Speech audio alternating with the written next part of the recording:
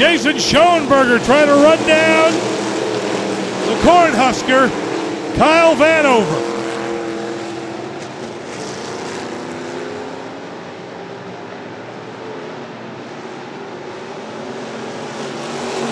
Look at this race, fans. Look at this race for the lead right here. About three quarters of a car length. Kyle Vanover easily won his heat race, but he knows he's in a race now in this A feature main event. Two laps to go. Jason Schoenberger trying to catch Vanover. White flag is out.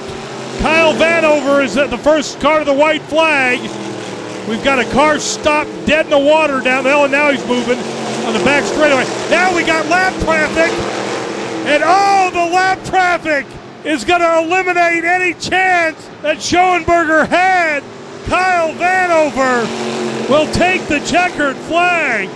He led throughout basically, but Jason Schoenberger runs into lap traffic coming out of turn number three and that picked off any possibility of winning the race.